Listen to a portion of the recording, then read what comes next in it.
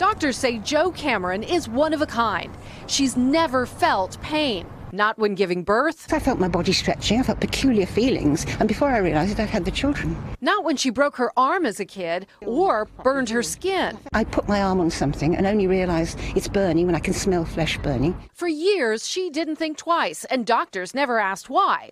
Until now pain geneticists at University College London tested Jo and found rare genetic mutations.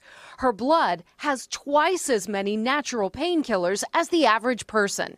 In the U.S. alone, 50 million people have chronic pain. And now scientists hope Jo's genes can unlock new treatments. By finding um, mutations that lead to painlessness in people, we might find routes to developing new analgesic drugs. And that's the basis of our work. Scientists are interested in Jo for another reason. She doesn't feel anxiety or fear, and her wounds heal quickly.